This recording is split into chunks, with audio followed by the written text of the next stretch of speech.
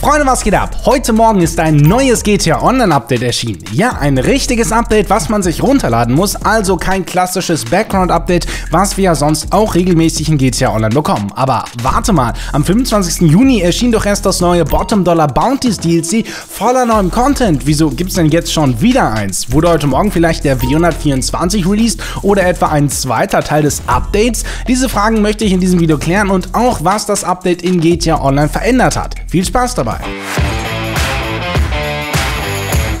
Also, um der ganzen Sache mal direkt den Wind aus den Segeln zu nehmen. Es ist natürlich kein zweiter Teil des Sommer-Updates gekommen, da Rockstar Games das ja auch nie angekündigt hat. Aber hier ist mal der Beweis, dass es ein neues Update gibt, denn seit heute Vormittag um 11 Uhr kann man sich das neue 582 Megabyte große Update für GTA Online herunterladen, um weiterspielen zu können. Das Update erschien auch auf allen Plattformen, also PlayStation 5, PlayStation 4, Xbox Series, Xbox One und natürlich auch dem PC. Die Dateigröße kann sich da aber unterscheiden. Ich selber habe zum Beispiel jetzt nur die PS5 zu Hause, ich weiß nicht, wie groß es bei der Xbox oder auch dem PC ist. Der Leaker und Insider Testfan hat das ganze Update aber auch schon etwas früher auf Twitter angekündigt, denn um circa Viertel vor elf postete er, neuer GTA 5 Patch wird gleich online gehen. Das ist insoweit besonders, als das Testfan vor normalen Background-Updates das Ganze nicht ankündigt. Ich habe mir also schon gedacht, okay, strange, dass er das jetzt schon vorher gesagt hat, mal sehen, was es gleich geben wird. Ja, und dann war 11 Uhr, man konnte das Update runterladen und man hat gesehen, gesehen,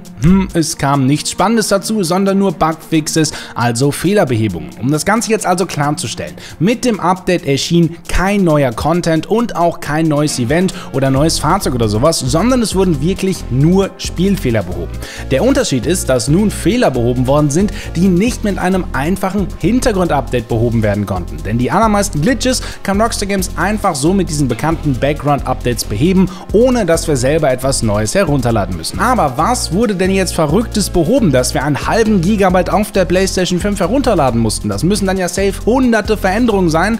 Ja, dazu komme ich auch mal jetzt, denn Testfan hat schon die Patch Notes von dem Update gepostet, also eine Übersicht der neuen Änderungen im Spiel.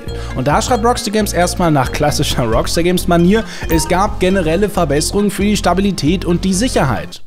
Cool, dass ihr was verändert habt, aber erklärt doch bitte genau, was ihr gemacht habt. Was bringt einem denn diese Info, wenn man nicht ins Detail geht? Denn mehr als es gab generelle Verbesserungen für die Stabilität und die Sicherheit haben sie nicht geschrieben. Dafür ist dann aber die nächste Änderung sehr gut, da hier ein Fehler behoben wurde, der wirklich sehr häufig aufgetreten ist, denn es wurde ein Netzwerkproblem behoben, das dazu führte, dass Fahrzeuge unbetretbar und auch unsichtbar wurden. Vielleicht habt ihr davon schon Videos auf YouTube, TikTok oder Instagram gesehen, wo es unsichtbare Fahrzeuge gab, die verhindert haben, dass man irgendwo herfahren konnte oder auch die verhindert haben, dass man einsteigen konnte. Vielleicht ist das Ganze euch auch selber passiert, dass ihr zum Beispiel nicht in euer persönliches Fahrzeug einsteigen konntet, obwohl ihr es gesehen habt.